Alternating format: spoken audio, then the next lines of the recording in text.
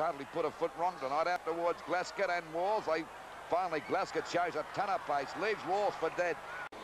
Goes down towards Lenihan, back to Lee, in short towards the centre. Out comes Glascott, takes the mark. He's got a good turn of speed, this guy. Beautiful kick too, up towards David McKay. A little bit too long for him, no.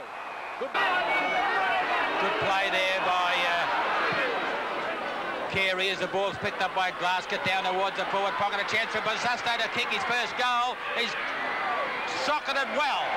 Good. It's half forward line, the back fly.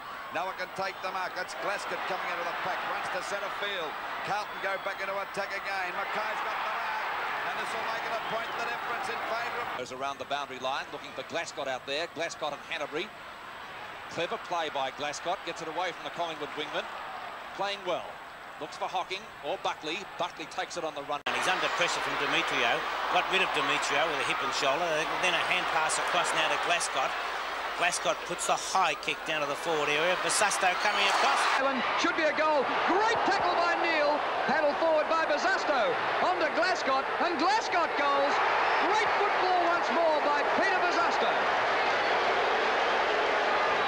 Now, as Mossop double hands it down to uh, Bruce Nankervis. A high kick, not a lot of distance. Glascott.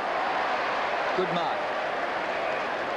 My word, is another good player. This is where Carlton have uh, getting a lot of their drive from their wingers as Glascott drives it up towards at half